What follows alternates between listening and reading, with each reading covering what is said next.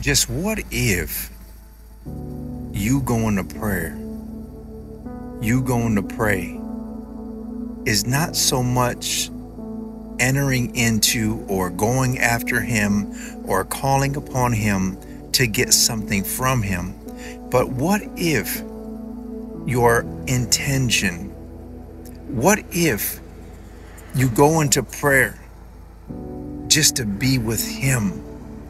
To hear Him and to let Him speak, to let Him love on you, and for you just to be attentive, to quiet the noise, to, to shut off the thoughts that are trying to bombard you, which is why you get to praying and you wanna, you wanna, you wanna do the machine gun from the mouth rather than be silent to conceive what it is that the Spirit of the Lord shall say in that moment that He so just wants to make so clear and known to you, just to be with you, just to spend time with you, just to come close to you, just to let you know how much He loves you, that He's for you, and that He's got you, that no matter where you are, He's present no matter what you're going through, He's near.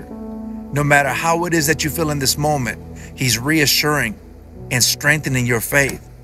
That no matter where it is you may find yourself in, see, see, the transformation and the change doesn't come from the saying. It doesn't come from how many words, how many words you're shooting out. The transformation and the change comes from the heart that is so attentive to Him to receive from him what it is he so desires to say.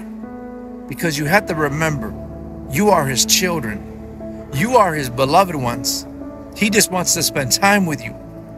He just wants to come close to you more than you want for him to speak. So let him love on you today.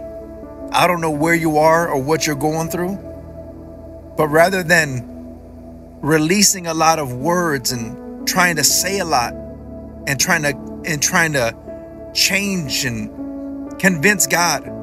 How about you just go and be still and be attentive to his voice and let him speak and let him say what it is that he wants to say to your heart. Let him love on you. Let him revive you and let him strengthen you in this moment, day and hour that he wants to so bless and to be with you because you are his children and he loves you more than you know.